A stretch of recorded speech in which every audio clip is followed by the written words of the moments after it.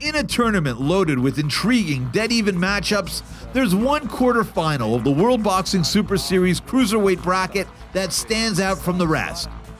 Where a pre tourney favorite meets up with a true wild card who could offer either the stiffest test of the opening round or a flurry of second guessers. When WBC champion Mairis Briedis faces former heavyweight contender Mike Perez, he'll be opposite a southpaw with a proven track record against far bigger and stronger foes than anyone found in the tournament, and a Cuban amateur background that may confound and subdue naturally smaller cruiserweights. But there's a reason the former heavyweight contender is just that a former heavyweight contender. A chin that all but exploded against former heavyweight champion Alexander Povetkin who obliterated Perez inside of one round of a May 2015 title eliminator.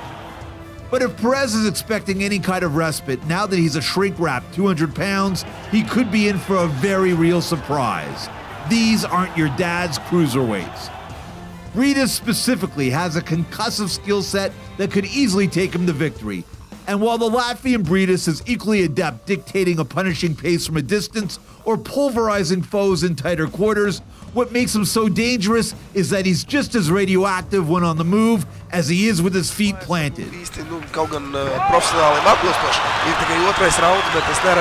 Kāpēc? Ui, tu labi, jā, labi, labi, labi, labi, jā. Tikai tagad es domāju, ka ir ieraudzījis. To, ko māja, mēs zinām, ko Mairis var izdarīt.